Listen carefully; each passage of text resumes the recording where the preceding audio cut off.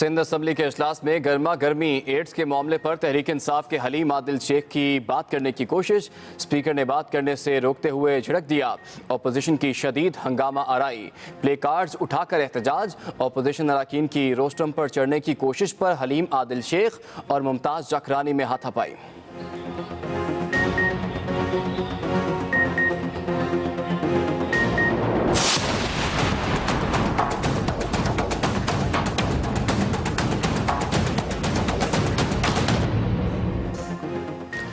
Dollar کی قیمت کو پر لگ گئے۔ آج بھی اونچی اڑان۔ ملک کی تاریخ کی بلند ترین سطح کو چھو گیا۔ اوپن مارکیٹ میں ڈالر دو روپے پچاس پیسے مہنگا۔ نئی قیمت ایک سو اکیاون روپے ہو گئی۔ انٹر بینک میں ڈالر ایک سو انچاس روپے پچاس پیسے کا ہو گیا۔ ماہرین کے مطابق آئی ایم ایف معاہدے میں ڈالر کی قیمت کا آزاد تعین شرط تھی۔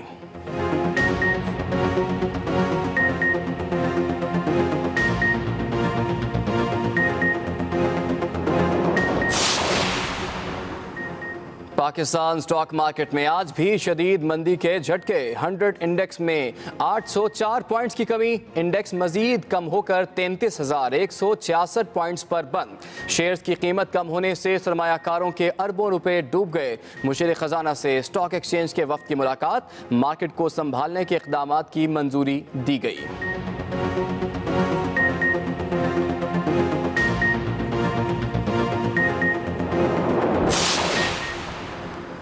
اپوزیشن ڈالر کی بڑھتی قیمت پر آگ بگولا۔ اپوزیشن لیڈر پنجاب حمزہ شہباز کی حکومت پر چڑھائی۔ کہتے ہیں نالائق حکومت کی وجہ سے ڈالر ملک کی تاریخ کی بلند ترین سطح پر پہنچ گیا۔ ملک کی معیشت آئی ایم ایف کے حوالے کر دی گئی۔ تبدیلی ہر روز قوم کی چیخیں نکلوا رہی ہے۔ عمران نیازی صاحب، آپ کا عوام پر ظلم برداشت نہیں کر سکتے۔ اب آپ کو جانا ہوگا۔ لیگی رہنما محمد زبیر کا کہنا ہے کہ روپے کی قدر جان بوجھ کر گرائی جا رہی ہے۔ حکومت کا کسی چیز پر کوئی کنٹرول نہیں۔ معیشت پر تحفظات ہیں۔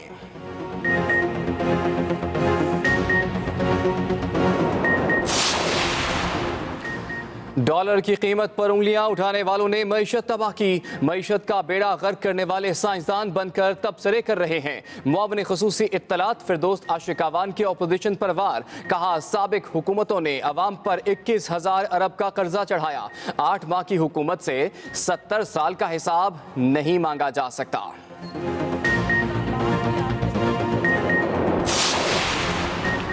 ڈالر کی مسلسل اونچی اڑان اور مہنگائی کی نئی لہر۔ حکومت پر دباؤ بڑھانے کے لیے اپوزیشن جماعت میدان میں پیپلز پارٹی اور نون لیگ کا عید کے بعد حکومت کے خلاف سڑکوں پر آنے کا اشارہ۔ مولانا فضل الرحمان بھی حکومت مخالف تحریک چلانے کو تیار۔ نون لیگ نے نواز شریف کی ہدایت پر کارکنوں کی رائے جاننے کے لیے پارٹی کا غیر معمولی اجلاس بیس مئی کو طلب کر لیا۔ پیپلز پارٹی بھی ان ایکشن آج اہم اجلاس ہوا۔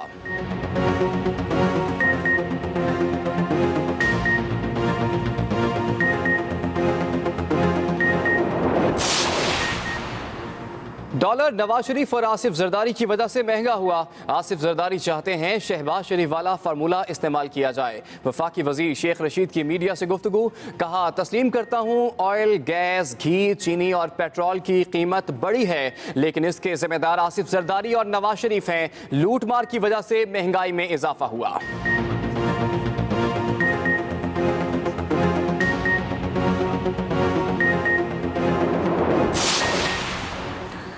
Chairman F B R Shabbar Zaidi کی تعیناتی اسلام آباد ہائی کورٹ میں چیلنج۔ ایف بی آر کے انیسویں گریڈ کے افسر علی محمد نے شبر زیدی کی تعیناتی چیلنج کی درخواست میں موقف اپنایا گیا۔ ایف بی آر کے ریگولر افسران کے ساتھ امتیازی سلوک نہ برتا جائے۔ شبر زیدی کو بطور چیئرمین ایف بی آر کام کرنے سے روکا جائے۔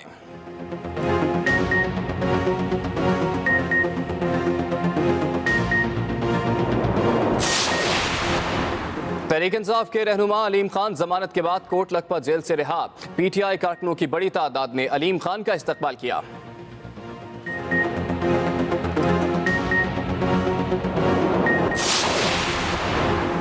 الیکشن کمیشن میں مریم نواز کو پارٹی عہدہ دینے کے خلاف تحریک انصاف کی درخواست، سماعت کے لیے منظور۔ سماعت ستائیس مئی کو ہوگی۔ درخواست تحریک انصاف کے اراکین قومی اسمبلی کی جانب سے دائر کی گئی تھی۔ درخواست میں مریم نواز کی بطور نائب صدر تقرر کو آئین اور قانون سے متصادم قرار دیا گیا۔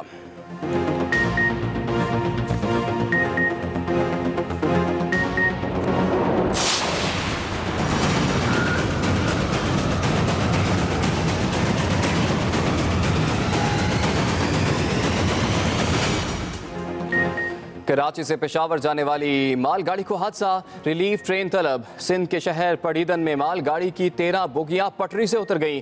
حادثے میں کوئی جانی نقصان نہیں ہوا۔ ٹرینوں کی آمد معطل۔ مسافر ٹرینوں کو متعدد سٹیشنز پر روک لیا گیا۔ جناح ایکسپریس، علامہ اقبال، تیزگام ایکسپریس، ملت اور کراچی ایکسپریس کو مختلف سٹیشنز پر روکا گیا۔ مسافروں کو مشکلات کا سامنا۔ ریلوے پولیس کے مطابق ٹریک کی مکمل بحالی میں دو سے تین دن لگ سکتے ہیں۔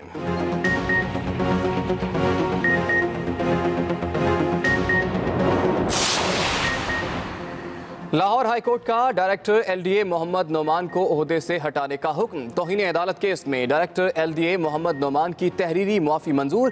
D G L D A کو ڈائریکٹر نعمان کا کیس نیب کو بھجوانے کا حکم۔ ڈائریکٹر نعمان کو کسی بھی اعلیٰ عہدے پر تعینات نہ کیا جائے۔ عدالت کی ہدایت۔ جسٹس امیر بھٹی نے ریمارکس دیے، آپ کی جرت کیسے ہوئی؟ عدالت کی معاونت کرنے والے پر جانبداری کا الزام لگایا۔ دوسری طرف عدالتی حکم عدولی پر Lahore high court. Chairman revenue authority Punjab پر بھی برہم۔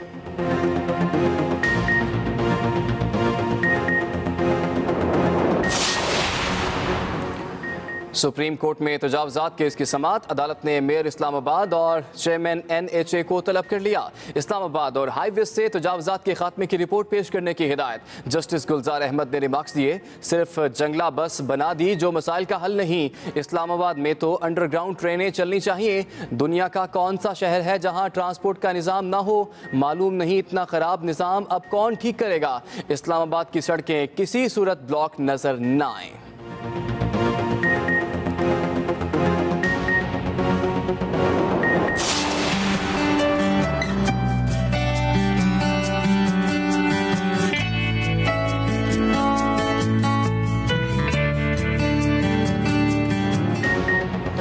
ملک کے مختلف شہروں میں بادلوں کے ڈیرے، کہیں بارش، کہیں آندھی۔ لاہور کے مختلف علاقوں میں ہلکی بارش۔ ملتان، ہارون آباد، ساہیوال بورے والا وہاڑی، بہاول نگر چشتیاں میں بھی آندھی کے ساتھ بارش۔ گرمی کا زور ٹوٹ گیا۔ راجن پور میں بھی تیز بارش۔ کوہ سلیمان کے پہاڑی سلسلے پر بادل خوب برسے۔ ندی نالوں میں تغیانی کوئٹہ سمیت بلوچستان کے مختلف علاقوں میں بھی ابر رحمت۔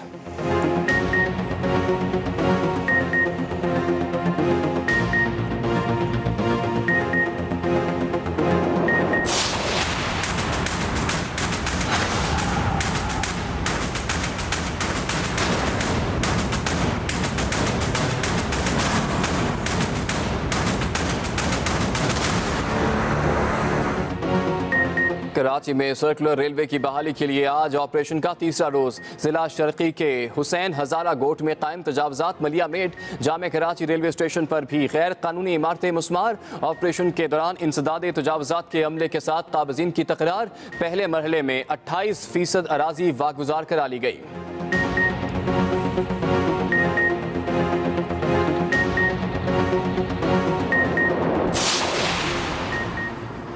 پشاور میں ڈاکٹروں کی ہڑتال کے خلاف خیبر پختونخوا حکومت ان ایکشن کل ہر صورت او پی ڈیز کھلوانے کا فیصلہ. کل سے ڈاکٹرز او پی ڈی بند کرنے کی غلطی نہ کریں. صوبائی وزیر شوکت یوسف زئی کی پریس کانفرنس کہا، ہڑتال میں ملوث ڈاکٹروں کو شو کاز نوٹس جاری کر رہے ہیں۔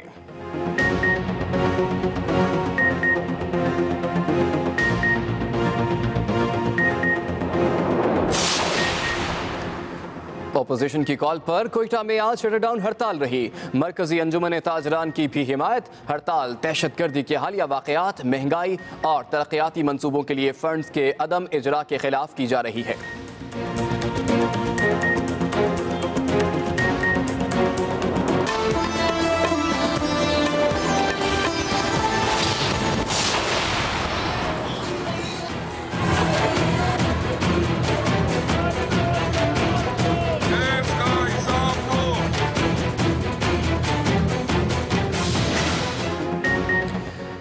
سندھ اسمبلی کے اجلاس میں گرما گرمی ایڈز کے معاملے پر تحریک انصاف کے حلیم عادل شیخ کی بات کرنے کی کوشش، سپیکر نے بات کرنے سے روکتے ہوئے جھڑک دیا۔ اپوزیشن کی شدید ہنگامہ آرائی۔ پلے کارڈز اٹھا کر احتجاج۔ اپوزیشن اراکین کی روسٹرم پر چڑھنے کی کوشش پر حلیم عادل شیخ اور ممتاز جکرانی میں ہاتھا پائی